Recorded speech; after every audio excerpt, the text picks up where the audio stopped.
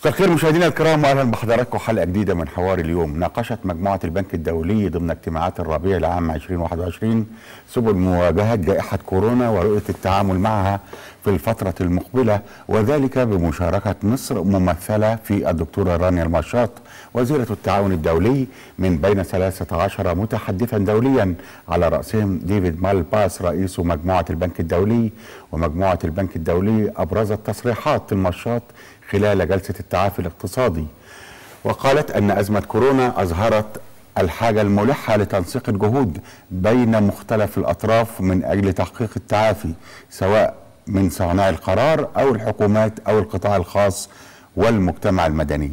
حول أهم الملفات التي تناولتها اجتماعات الربيع لهذا العام تدور حلقتنا النهارده. وسعدنا أن يكون مع الدكتور كريم يحيى أستاذ الاستثمار بجامعة القاهرة. منورنا دكتور كل سنة وحضرتك طيب. وحضرتك طيب يا فندم. أهلا بيك يا فندم. خلينا نطلع تقرير وبعد هذا التقرير نفتح هذا الحوار فيما يخص مجموعة يعني الربيع 2021 وأهم القرارات التي اتخذت في هذه المجموعة. فابقوا معنا.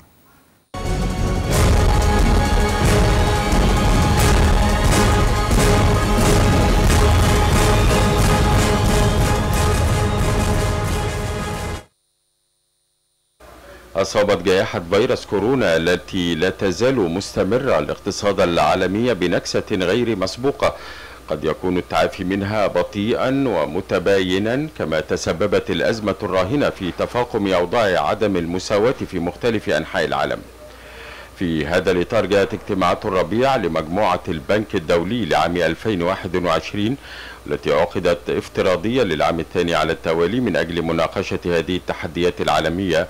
ومساعدة البلدان على بناء تعارف أخضر يراعي ظروف البيئة وإعادة بناء الأنظمة الاقتصادية لتحسين استخدامها للموارد وخلق مستقبل غير ضار بالمناخ.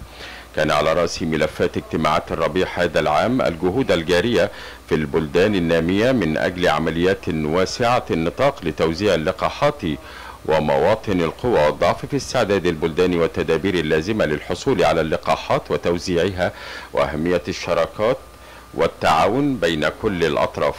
ناقشت الاجتماعات أيضا سبل قيام الحكومات بتحويل الأزمة إلى فرص لتحقيق النمو وكيفية تطوير الشركات من نفسها لتتمكن من خلق مزيد من الوظائف لتفادي خطر ضياع جيل كامل من الشباب. الاجتماعات شارك فيها محافظ البنوك المركزية وزراء المالية والتنمية وكبار المسؤولين من القطاع الخاص وممثلون عن منظمات المجتمع المدني وأكاديميون لمناقشة القضايا موضع الاهتمام العالمي ومنها الآفاق الاقتصادية العالمية واستئصال الفقر والتنمية الاقتصادية وفعالية المعونات.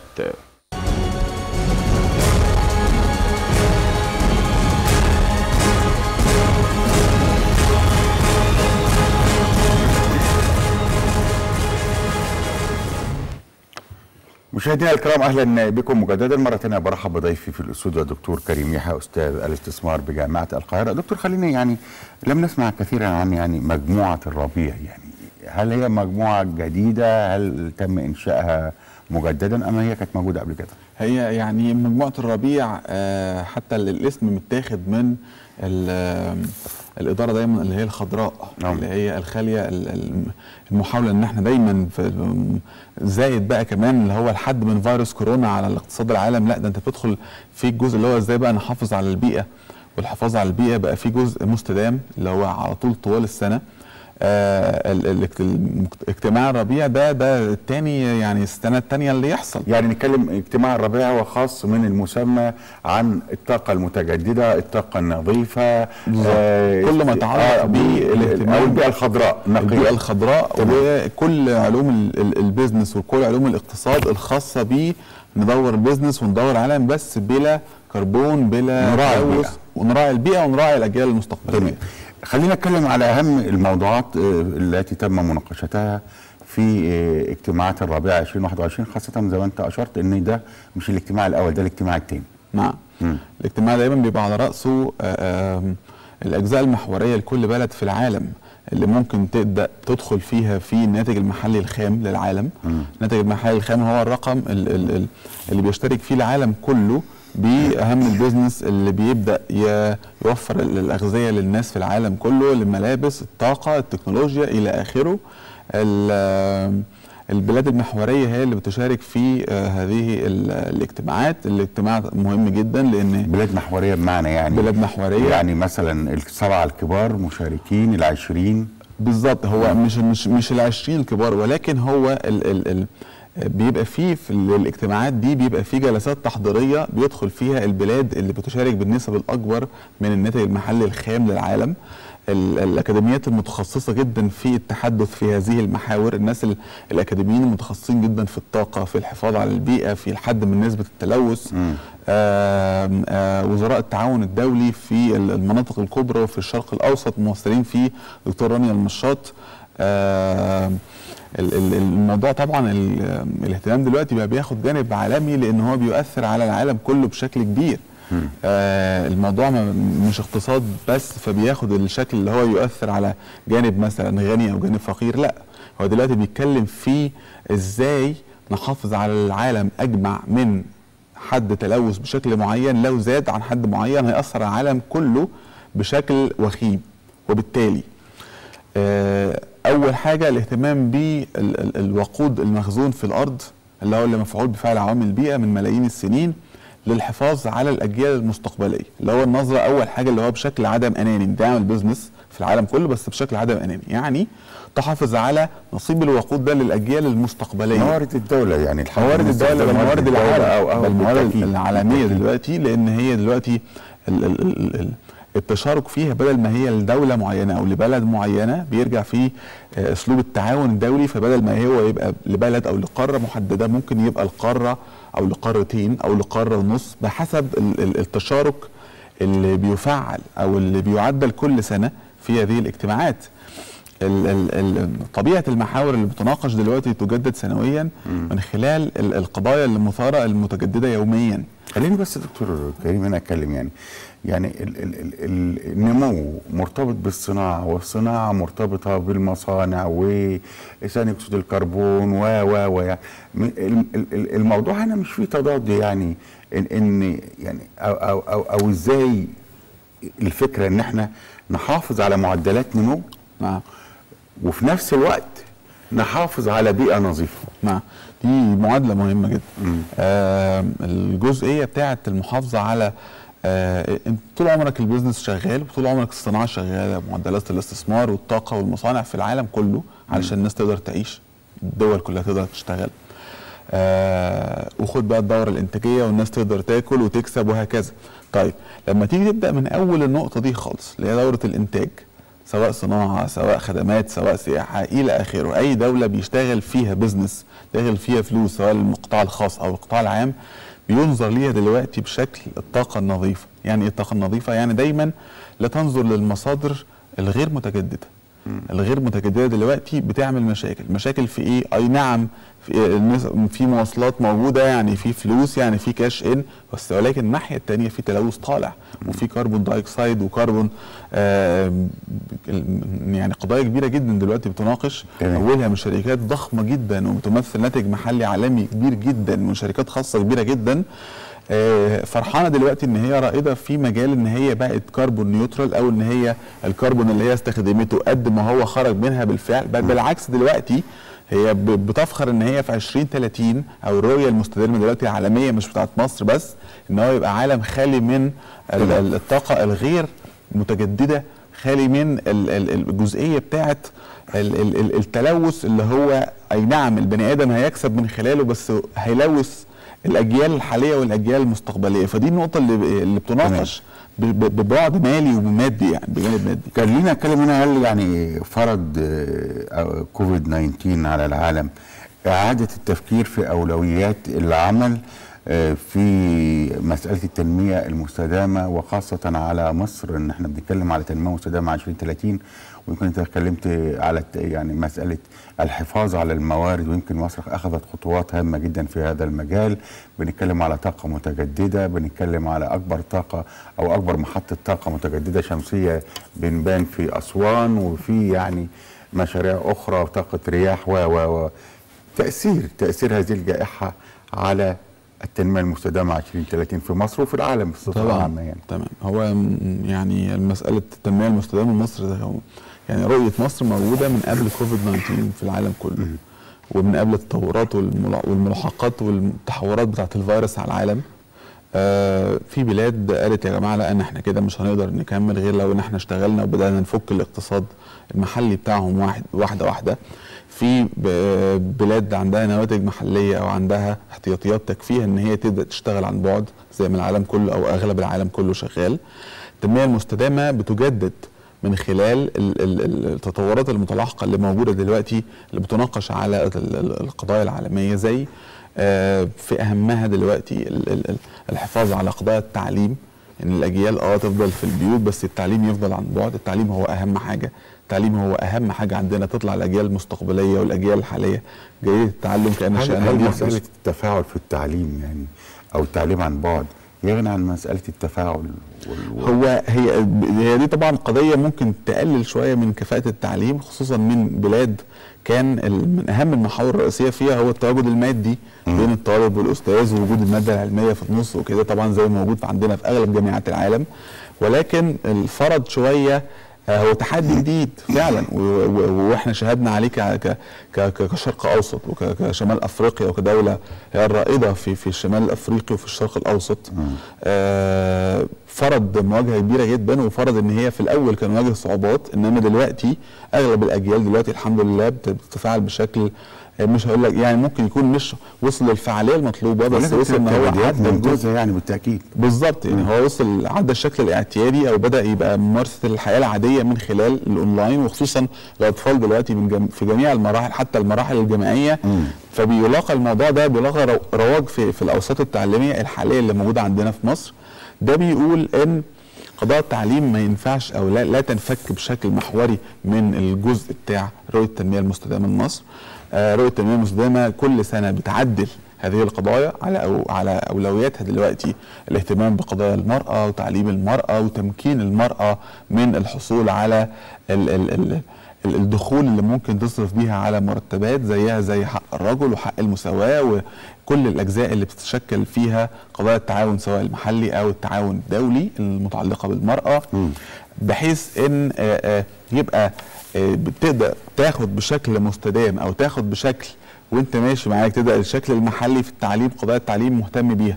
قضايا المرأة أنت بتبدأ ترجع تمكين المرأة تاني. القضايا الأسرية الأسرية الدخول المرتبات وطبعا كل ده متزامن مع الحفاظ على البيئة الوجود المادي في ضوء أو أكسيد كربون معين نسبة تلوث محددة ما ينفعش تزيد عن جزئية معينة.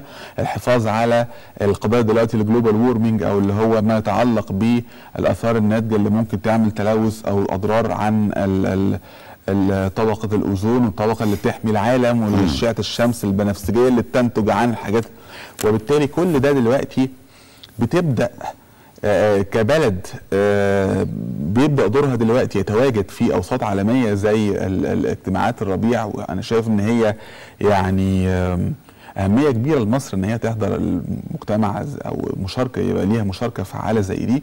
السنة اللي فاتت خلاص بنبدأ بنحضر دلوقتي مع البريكس لما كانوا كان سيادة الرئيس موجود السنة اللي فاتت هناك ومن أهم خمس دول في العالم. آه التحضير دايما إن مصر بلد في الاقتصاد موجودين على المحاور الرئيسية في القضايا الربيع أو الاهتمام بالبيئة موجودين على بشكل فعال من ضمن أهم ممثله لافريقيا في طبعا. مؤتمر المناخ في فرنسا. بالظبط كان رئيس الاتحاد الأفريقي. تمام. خلينا أتكلم هنا على مسألة يعني مصر الدولة الأولى في شمال إفريقيا دولة أو الشرق الأوسط كمان التي حققت نمو إيجابي مع أزمة كورونا عايزين عايز أتكلم على هنا ثقة الشركاء والمؤسسات الدولية في الاقتصاد المصري الذي استطاع يعني أن يجتاز هذه الأزمة بشكل كبير يعني وشكل مطمئن لكل المؤسسات الدولية. ثقة الشركاء الحمد لله موجودة. ثقة البنك الدولي موجودة وصندوق النقد الدولي موجود وهذا بفعل التعامل الموجود حاليا والقروض الموجودة والتعامل آآ اللي مناقش أو ممول قضايا محورية معاك لحد 2030 لحد كمان ال- الرؤية دلوقتي بتتشكل إن هي من 20 تل- آه، 30 بتبدأ تخش في آه، مساحات أو أبعاد أكتر. يعني اليابان كانت عاملة من فترة الرؤية لحد 2052 ف إنك تهتم أو تتولى أمر زي ده من ناحية القيادة السياسية. ده حاجة مهمة جدا ده مسؤولية كبيرة. آه المجتمع المحلي مراقبك ومهتم بيك فشايف خطواتك على معدل نجاح. م م مش معدل دلوقتي نمو لا ده هم بيتكلموا على معدلات إنمائية. يعني إحنا دلوقتي مش معدلات النمو دي اللي هو ال- الاستدامة بتاعتها لا ده إحنا مش عايزين كل سنة مثلا نزيد ب 6% أو 6 و3 لا. ده أنت عايز السنة دي تزيد 6 و3 السنة الجاية تبدأ يبقى 6.5% 7% وهكذا. ليه؟ في استدامة في عجله في التنميه استدامة وفي تشارك واضح. في الأوساط الدولية مش مجرد كلام بس مش مجرد شعار بس. أنت ما أنت السنة اللي فاتت موجود في أكتر من ست سبع آه، مجتمعات أو مشاركات رسمية عالمية بتبقى على هامشها آه، تفاعل في جميع أوساط رجال الأعمال في البيزنس. إحنا زي ما بنتكلم بنتكلم كان في دعوات يعني البريكس أو مجتمع بريكس اللي إحنا اتكلمنا عليه وجنوب أفريقيا وروسيا والهند وكل ال ال ال ال ال ال البلاد اللي هي بتدعو مصر دعوة لل- لل- للتحضير للسنة الجاية إنك تبقى معاهم. دي حاجة يعني في الأوساط الدولية مش سهلة. مش معنى. بالظبط طيب أنت اليابان دعتك ده أنت روسيا دعتك ده أنت رئيس الاتحاد الأفريقي ده أنت الممثل أفريقيا والشرق الأوسط لما حد يجي يتكلم مع ممثل مين يا جماعة ممثل أفريقيا كلها؟ مصر. اتحاد افريقي شمال أفريقيا آه سياسيا مش سياسيا بس ده سياسيا دلوقتي ال- الاقتصاد دلوقتي بياخد قضايا مهمة جدا دلوقتي والجديد دلوقتي اللي هو التشابك مع القضايا التعليمية مع قضايا الاستدامة اللي بنتكلم عليها مع قضايا تمكين المرأة مع القضايا الاهتمام بالتعليم مع القضايا الاهتمام بالأجيال المستقبلية والحفاظ على الموارد الحالية من ال من ال الوقود القيود اللي بتهدد الموارد اللي هي ما بقتش متاحة بشكل كبير قبل كوفيد ودلوقتي. فالعالم بيبدأ يعمل إعادة يعني مش تخصيص موارد أو توزيع موارد ولكن استخدام الموارد موارد، بشكل أفضل. وبشكل بدل ما يطلع نفس الناتج من آه، نفس المورد لا تعظيم هذا النفس الناتج بدل ما تطلع ست وحدات مثلا من ثلاث موارد متاحة تبدأ من نفس الثلاث الموارد المتاحة دول باستخدام تكنولوجيا أنظف تكنولوجيا أفضل تبدأ تطلع ثمان وحدات تسع وحدات إلى آخره بشكل بدل ما ينفع 100 لا محصول إحنا يبقى نتكلم في أمور تانية كده بالظبط. خلينا نتكلم هنا على أفاق الشراكة بين مصر والبنك الدولي خاصة إن الحديث كان على قرض آخر من صندوق النقد الدولي لمصر وهذا القرض خاص بنواحي اجتماعية يعني بعد نعم. أن اجتازت مصر يعني مرحلة هامة جدا بالإصلاحات الاقتصادية التي اتخذت في نوفمبر 2016 الآن ال- البنك الدولي يضع ثقته في القيادة المصرية وفي الاقتصاد المصري بإجراءات أخرى أو بقرض آخر خاص بنواحي اجتماعية. الشراكة مع البنك الدولي خلال المرحلة نعم. القادمه هو طبعا آه، خلال النواحي القادمة بيقول إن البنك الدولي ده جهة آه، تمويلية عالمية محايدة. ما بيعملش آه، ما بيجددش الاتفاقيات غير لما يكون في نجاح مع التعامل مع الجهة أو البلد بصفة حالية أو بصفة سابقة. وبالتالي ده بيأكد إن مصر ال- الق- ال- القروض اللي هي بتطلبها في الأوقات المحددة تم سدادها في الأوقات المحددة تم إعادة ال- ال- الجدولة لاقساط القروض أو فوائد القروض بالشكل المحدد والرسمي والاتفاقيات اللي موجودة بتثبت كده. آه الوجهة اتغيرت شوية إن الفترة اللي جاية بيبقى فيه اهتمام شوية أو إعادة الاهتمام بالقضايا الاجتماعية اللي هي كان لازم النظر إليها في الفترة دي بعد ما تبدأ تظبط الهيكل الاقتصادي بتاعك تظبط النواحي الاقتصادية اللي هي بتبدأ ترجع منها الدخول أو أنت كدولة إيه، إيه، مصادر الدخول الأساسية منها السياحة والتعليم والتصنيع إلى آخره قضايا التصدير تاني اللي هي كانت بتتظبط في خلال ال- الخمس ست سنين اللي فاتوا. دلوقتي القضايا الاجتماعية رجعت تزامنا مع الاهتمام بالشؤون البيئية. اجتماع يعني إيه اجتماع يعني ترجع للنظر تاني لأول نواة في المجتمع اللي هو الأسرة الاهتمام بال... بال... الشكل الأسري الصحيح الاهتمام بنمو أطفال خالية من الأمراض ما هو خالية من الأمراض دي هيطلع يبقى عندك صحة كويسة يبقى عندك. الطفل ده شباب سليمه يطلع جيش سليم هيطلع اقتصاد قوي وبالتالي هي آه نقطة مهمة جدا مشكلة في إعادة النظر مرة أخرى ثم مرة أخرى إلى الطفل اللي هو يعتبر لو طلع نواة سليمة هيبقى زوج سليم وبعدين هيرجع نفس الأثر أو نفس الثقافة في الأطفال وهكذا فتفضل الرؤية المستدامة موجودة فيفضل النمو مستدام فيفضل معدلات ال- النمو موجودة في أذهان الأجيال المستقبلية اللي هو بيبدأ بطفل اليوم اللي هو غدا هيبقى الشاب اللي. بيتخرج زوج إلى آخره وهكذا لحد ما يبقى في تلاحم بين الأجيال المستقبلية كل ده برضو تزامنا مع آه عالم كله فيه جهات جد كبيرة جدا ضخمة جدا سمعنا إن هي انهارت وخلاص تلاشت في في كوفيد كمان 19 وطلع عليها كمان. حتى يعني بعض. الدول ال- ال- ال- النمو عندها بالسالب يعني طبعا في نمو دلوقتي سالب وفي دول دلوقتي بترفض يعني أي حد يجي لها سواء أي حد حتى لو هو مصنع أو خ... ما مغلقة. فيش لا، تمام. للأسف الشديد يعني. تمام. خلينا نتكلم هنا على مسألة دعم البنك الدولي لمصر أثناء جائحة كورونا يا دكتور.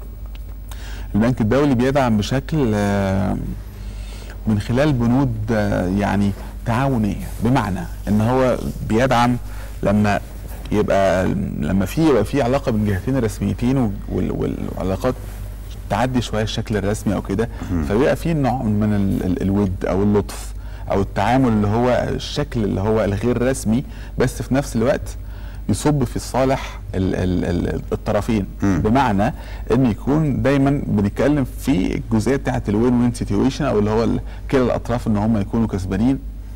مفيش أي مشاكل إن البنك الدولي أو آه، جهة كبيرة بحجم صندوق النقد الدولي والبنك الدولي يتشاركوا دايما في إعطاء معلومات آه، تهم ال- المجتمع المصري المحلي تهم الشباب دلوقتي تهم ال- ال- العالم المنفتح ده بجميع ثقافاته السلبية والإيجابية والضارة وغير ضارة.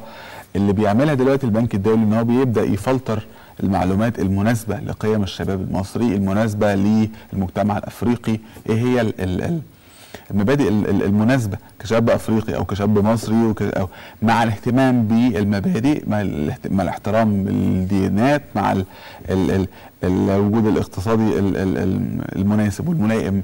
يعني الاهتمام بالقضايا اللي هي محدش يقدر أو اللي هي بيقولوا عليها في العالم خارجه عن السيطرة واللي هو الان كنترولبل زي القضايا الجزء الاقتصادي الجزء الثقافي الجزء ال ال ال- السياسي ال- الحتة اللي هي بنتكلم فيه إنسان محايد. البنك الدولي بيبدأ أو بيدي دلوقتي آم، نصائح للشباب. في ناس في ناس التفاعل الكبيرة بينها كان بدأ من مواقع تواصل رسمية دلوقتي دخل على مواقع تواصل اجتماعي. الشباب بدأ يتفاعل بين النقط دي بدأ يعرفها لبعض وبدأ إن هو يبقى فعلا يشوف إن الجزئية دي لأ ده يا جماعة الكلام ده مش تهريج ده فعلا البنك الدولي يعني يقول لك إيه ما هو يعني ممكن جهة كبيرة زيه مش فاضيه بيعمل خطط لحتت تانية في العالم. طب إيه اللي هيقول ليه اللي بيقول الشباب المصري يلتزم ان أنت تنجح بلدك؟ طب ما هو أنت ده دي جهة رسمية كبيرة جدا في الدنيا بتتكلم بمنتهى الحيادية. وبتتكلم بشكل لو أنت اتبعته فعلا هتلتزم بيه وهتبقى تطلع برضه بشكل مستدام. تبقى عندك جهة اقتصاد قوية يبقى عندك شباب قوي يبقى عندك اقتصاد قوي يبقى عندك تعليم آه، قوي مناسب لأجيال كبيرة. يبقى عندك حد ممكن يكون مش يقول لك ده بيسلف لا ده هو قرض إحنا بندفع في الوقت المحدد لينا وال- والجهة بتدي يعني ده شرف لجهة كبيرة زي ال- البنك الدولي وصندوق النقد الدولي إن هم يتعاونوا إن هم بيدوا نصايح ومبادئ فيها اهتمام. دلوقتي بدأت لأوساط اجتماعية وأوساط يعني رسمية بشكل كبير تهتم بيها. تمام. آه بدأوا إن هم يداوموا على الموضوع ده من أول العلاقة من أول 2016 كمان و2017 آه الحتة بدأت أو الجزئية دي بدأت تاخد الشكل الرسمي والشكل غير رسمي. ويعني بنشوف إن في علاقات فيها استفادة إن شاء الله كبيرة جدا في الفترة تمام. الجاية. خلينا نتكلم على حزمة التمويل السريعة اللي يعني اللي خصصها آه، البنك لمواجهة هذه الأزمة أزمة كورونا. حزم التمويل السريع يعني مفادها أو مفهومها إن هي ما فيهاش إجراءات كتير يعني ما فيهاش للقرض اشتراطات وبتاع بالظبط كده. بتبقى لمواجهة قضايا برضو عاجلة. عاجلة. القضايا العاجلة برضو بترجع برضو تهتم تاني بالأجزاء المجتمعية اللي إحنا بنتكلم عليها ولكن مع الاهتمام بقضايا إنمائية. بمعنى قضايا إنمائية يعني إيه؟ يعني مصر من أهم الدول اللي في العالم أو من أكبر الدول اللي في العالم في الزراعة الاهتمام العالمي بالزراعة في الناتج ال- الزراعي يوما من الأيام القطن حتى من الآن ما زلت ما زلت فيه آه، من أهم أو القطن طويل التيه طبعا ده موضوع من آلاف السنين والحضارة معروفة يعني الحضارة بتاعتك زراعية وأرضك زراعية والبلد زراعية مهما حصل من يقول لك التجريف والتصحر أنت البلد زراعية وتقبل زراعة إلى آلاف سنين جاية إن شاء الله. آه نقطة زي دي مثلا لو بنتكلم في الجزئية دي علشان قضية الوقت وكده لما الب- البنك يدي آم، أو يحضر باكج سريع أو حزمة سريعة إن هي فورا تصرف في النقطة دي أو في القضية دي فدي حاجة تحسب للبنك إن هو بيصرف على حاجة آه الحاجة دي محورية جدا في البلد. الحاجة دي بتشغل قطاع كبير جدا في البلد بتحيي جزئية آه البلد مشهورة بيها في العالم كله. على المستوى المحلي في نقطة فخر مهمة جدا إن إحنا القطن أحسن قطن في العالم القطن طويل التيلة والعالم كله يشهد بكده. في إنجلترا وفي أمريكا وشمال أوروبا كل الحتت دي لما تيجي تروح لمؤسسات الملابس وكده تلاقي أعلى جزئية فوق خالص هو القطن الطويل التيلة المعدل ده اللي هو أعلى جودة وأعلى سعر في المول كله. ده الكلام ده موجود يعني. موجود آه. آه فحاجة زي دي في الوقت في, في الوقت ده مهمة جدا لإنعاش إن طبقة كبيرة جدا بطلت شغل وأصابها آه، كسر نفسي وضغوط اجتماعية. علشان كده كان مهم في الوقت ده إن هو يبص للجزئيه اللي هي متأثرة اجتماعيا طبقة متأثرة اجتماعيا. وإحنا بنتكلم في قضايا تنمية مستدامة يعني رؤية مستدامة. يعني في أكتر من 50% من الشباب اللي موجودين في الجزئية دي والشباب المصري اللي شغال في الزراعة والثقافة الزراعية عارفين ده كويس عارفين إن في ناس كتير قوي بطلت تشتغل بإيديها والناس بدأت المخاوف يعني إن هي دايما المخاوف الذهاب اللي بتعمل تمام. اللي بتوصل خصوصا الشباب اللي هو عايز طب ما عايز يتجوز وعايز يربي أسرة وعايز يطلع بيت اجتماعيا ثابت واقتصاديا ثابت فدخل البنك الدولي في الجزئية دي آه أي نعم هي يعني لو بنتكلم قضية رسمية هو هو هو جهة رسمية ولكن تشكر إن هو نظر للنقطة اللي زي دي في وقت مهم قوي زي ده. آه أضاف إن بقى في آه بعد اجتماعي لصيق إن فعلا في جهة بتهتم بال- بالجزئية دي لأن هي دايما الزراعة المردودها بي- بيتشاف على الأجل القصير. يعني اللي هو خلال 12 شهر أو خلال أقل من سنة في الأراضي الزراعية أو خلال ست شهور أو ثلاث شهور كمان يعني خلينا أقول إن خلال أزمة كورونا ما حصلش عندنا يعني أي عجز الحمد في, لله. في الأسواق بل بالعكس بالظبط. والأسعار كلها أسعار يعني الحمد لله في, آه، في, آه. المتناول آه. وبترجع دلوقتي وكمان مصر تتصدر حتى الدول عالميا في تصدير الموالح والفراولة والبطاطس. طبعا ده مش في ظل الأزمة، آه. الأجود ال- ال- يعني دلوقتي ال- البرتقان الليمون الفراولة الحاجات دي هي م- مش الأهم كمان في الأرقام لا الأجود عالميا. آه. يعني ال best quality دلوقتي في العالم كله هو وهكذا. فدي حاجة آه كويسة. فدي بالتأكيد. حاجة بتقول إن إن أنت في قطاع زراعي طالع منه القطاع التصديري ده في الوقت اللي أنت فيه دي حاجة مهمة جدا. ده في. بلاد قفلت تصدير واستيراد وقافلة على نفسها وفي حاجة دلوقتي ظهرت اسمها اقتصاديات منغلقة مشاكل كبيرة جدا. فإن أنت تبدا تتفاعل دلوقتي ومش تتفاعل بس وتثبت نفسك لا تتفاعل وتطور نفسك اقتصاديا بالقروض دي وال- والاجتماعات دي والمحاور دي وتلاقي العالم كله النظر عليك فيه في الجزء المحلي موجود في قضايا كتيرة جدا متشعبة ومتشاركة. في الجزء العلوي موجود وانت موجود ب ب ب ب ب بكرسي وبطاوله مهمة جدا. ما ينفعش اجتماعات تبدأ غير بوجود الجانب المصري. فدي حاجة إحنا بنشوف إن هي كويسة قوي في الفترة اللي إحنا فيها. إن شاء الله في الفترة اللي جاية بنشهد شراكات برضو أكتر. خلينا مع- نتكلم على برضو جهود الدولة المصرية في الرعاية الصحية ومشاركة البنك الدولي في 100 مليون صحة والقضاء على فيروس سي و آه، يعني أمور كثيرة جدا حتى تخص المرأة سرطان الثدي والأطفال والأمراض المزمنة ال- ال- ال- والعيادات المتنقلة في مسألة السكر والضغط كيف ترى هذه المجهودات مع صندوق النقد الدولي ومقدماته الدولة المصرية من يعني عايز أقول من مو- مواضيع يعني من آه، أمور هامة جدا مسألة جدا. بالصحة يعني بالظبط. هي جزئية برضو بترجع لو حضرتك تركز فيها برضو بتلاقي إن هو في اهتمام برضو المرأة فيها اهتمام بالجزء ده. قضايا متعلقة القضايا الطبيه والمتعلقة آه أمن قومي يعني ما, ما فيش فيروس يضرب البلد. ده الحمد لله موجود. الحمد لله ربنا تجربة مهمة. جدا يعني مهمة جدا. آه دلوقتي آه ال ال ال ال كلمة الحد من الفيروس دلوقتي هي ما بتبقاش كلمة يعني ممكن حد يشوفها شعر إنما هي هي الحمد لله موجودة دلوقتي ال ال بس الوجوديه. كبيرة يعني لا إحنا يعني إحنا ما عندناش الانتشار ال- بالشكل اللي هو يعني في مجتمعات أفريقية وفي مجتمعات محلية معروفة جنبنا وفي تحت في قارة أفريقيا آه كلمة ال- ال- الحد عندهم من الفيروس يعني هي كلمة يقول لك لو انتشر مثلا لو ضرب 10 بيوت في 10 مر- مرضى آه، بيموتوا. ال ال ال ال الشكل ال- ال- المحور ده بيقول إن البلد دي في الأول ما واجهتش صح. لا الحمد لله لما نيجي نبص عندها في مصر وتقول إن في مثلا الشهر اللي فات المنطقة دي في خمسة منها أصيبوا وتعافوا بشكل سريع جدا.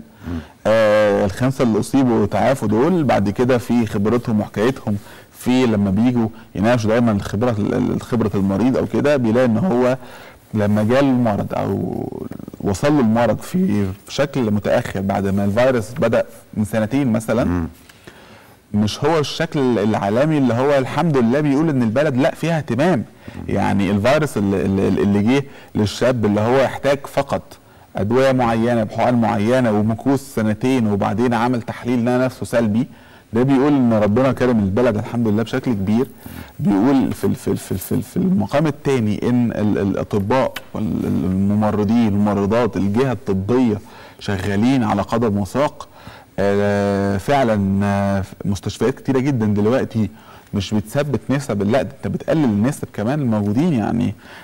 في الحمد لله آه، من أول الاهتمام بال يعني كأعضاء إحنا تدريس في جامعة القاهرة والاهتمام من أول القصر العيني الفرنساوي التعليمي القصر العيني القديم كل ال- ال- الجهات دي آه، بتقول إن التقاط ال- ال- ال- السراير اللي هو لو في كان 1000 مريض الشهر ده الشهر اللي بعديه بقى فيه 990 بقى فيه يعني الناس بتحاول تفضي واهتمام ال ال والتعاون اللي في المرضى إن هو خلاص الحمد لله خف فخلص الدورة بتاعته طلع اهتم على نفسه مفيش تكدس يعني. ال- الفكرة بتاعت مش مفيش تكدس طبعا هو دي فكرة مهمة جدا بس فكرة اللي هو أنت بتقلل عدد المرضى بتوفر دايما طاقة السراير اللي موجودة. دلوقتي بتوفر دايما الطاقة الاستيعابية من مستشفيات حكومة أكبر عندك من يعني من أكبر مستشفيات ال- الشرق الأوسط حتى الآن من مستشفى شايلة أعضاء هيئة تدريس شايلة طلبة شايلة قطاع شعبي شايلة مصر كلها زي يعني مستشفيات القصر العيني يعني يعني حاجة العيني. والريش المنطقة والمنيرة الحتة دي يعني بجد والله دايما بندعي ربنا يبارك لل, لل من أول الناس الأطباء اللي هم شايلين ال- ال- القضايا دي والممرضين لحد عندك بقى كل المنظومة بال- بالجامعة لحد توصل للقياده السياسية والجزء اللي هو المتعلق بالتعليم والوزير. فأنت تلاقي إن في خط حلقة كاملة. كل الحلقات فيه متكاملة مع بعض كله بيطلع تقارير لكله وكله بيوصل state of the art أو اللي هو آخر حاجة هو وصل ليها فالتاني ينمي ويوصل للفوق وهكذا وهكذا بشكل مستدام مش بشكل ثابت ولا بشكل متوقف. والاجتماعات دلوقتي بدل ما كانت اجتماعات شهرية بقت في اجتماعات أسبوعية الوزراء فيها بتتابع مع نفسها آه كتقارير مع الاجتماع مع المجموعة بتاعتها وبعدين بتنقل المجموعه وزارية أخرى. بيبقى في دلوقتي تشارك بين وزارة وزارة الاستثمار جنبها وزارة التعليم العالي جنبها وزارة التعاون الدولي جنبها وزارة السياحة. الرؤى بتتشارك علشان يطلع آه رؤية دايما متكاملة. رؤية بتنفع بتتجدد يوميا مش ثابتة مش آه ما- تفيدش حد. لا ده تفيده على جميع المستويات. تمام. خلينا نتكلم هنا. هل هل يعني العالم بعد أزمة يعني كوفيد 19 يعني ربنا يسهل ونخلص من هذا الكابوس يعني هل شكل العلاقات الدولية ستتغير؟ هل رؤية العالم اقتصاديا ستتغير؟ هو طبعا بان في الفترة اللي فاتت الرؤى فعلا ال- ال- ال- ال- البلاد اللي عايزة تساعد إيه؟ البلاد اللي عايزة تمسك تخلي العالم أو توقف العالم تثبت العالم تاني البلاد الأنانية اللي هو قفل على نفسه ومش عايز يشارك علشان ما يخشش فيصاب فيحصل له مشاكل اقتصادية فالرؤية اللي يعني لم تعد منتظر إن في تغيير هيحصل. لا ده فعلا في تغيير حصل ال- المناصب ال ال ال ال الكراسي اللي موجودة دلوقتي في ال- اللي القضايا المحورية في التعليم وفي الصحة وفي إرساء القواعد وال- والرؤى وال- والرسالة بتاعت جميع المجتمعات سواء في المجتمع المدني حتى وصولا إلى آه، الأسر في جميع أنحاء العالم بان إن إن في فعلا بلد عايزة تنمي نفسها وعايزة تحد من انتشار الفيروس مش فيها بس في البلاد اللي جنبيها مش في البلاد اللي جنبيها بس تبدأ إن هي تبقى ترجع تاني صورتها إن هي أخ أكبر في قارة. تبدأ إن هي مش أخ أكبر في قارة أنت أخ أكبر في آه، ب- بضع قارات أنت الأخ الأكبر في بلاد مهمة كبيرة جدا فيها. في نظرة محورية كبيرة عايزة تستفيد من خبرتك.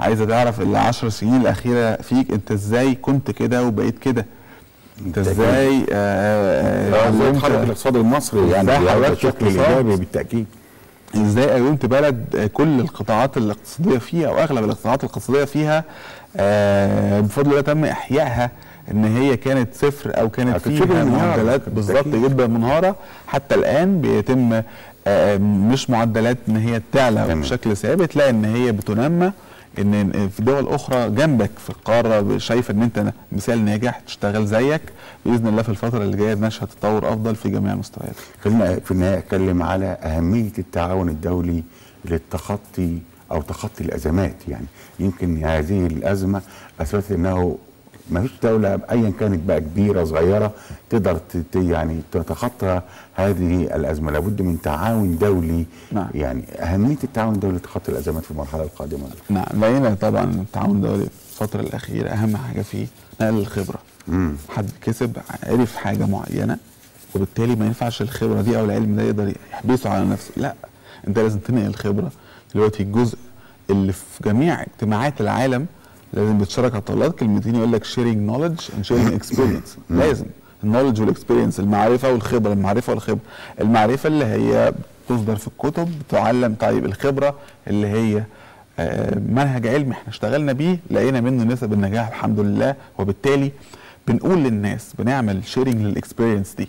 بننقل الخبرة دي بلد معينة عايزة تبقى اقتصاد معين زي في عددنا أو في حجمنا بنفس الشكل بتاعنا. طيب تقدر آدي النموذج المصري آه. تقدر تعمل كده تلاقي النتائج دي في ظل سنوات معينة. آه، يبقى رجعنا تاني لفكرة التعاون اللي هو آه، آه، آه، التعاون الايجابي تعاون إيجابي. آه ما فيش حد برضه ينغلق على حد فكرة إن أنت كل ما تتعاون بشكل إيجابي أكتر وكل ما تنقل خبراتك أكتر بترجع ده بشكل مردودي أكبر. الشكل الإيجابي بيفضل ينمى. ال- ال- الخبرة اللي إحنا قلناها مثلا للطرف ب لحد ما توصل للطرف ياء مثلا بتقعد تزيد تزيد تزيد لحد ما نوصل لموديل أو لنموذج عالمي أي حد ممكن يعني إن شاء الله يحتذي بيه أو في ظل الظروف اللي هي موجودة عنده يقدر إن شاء الله يعني يعدي بره الأمان في الفترة اللي جاية. بشكرك يا دكتور. كل الشكر والتقدير لضيفي الدكتور كريم يحيى أستاذ الاستثمار بجامعة القاهرة. شكرا ضيفنا عزيزا في هذه الحلقة من حوار اليوم. والشكر لفريق اعمال حوار اليوم لهذا اليوم. والشكر كل السادة المشاهدين على حسن المتابعة. الحكم دائما على خير. إلى اللقاء.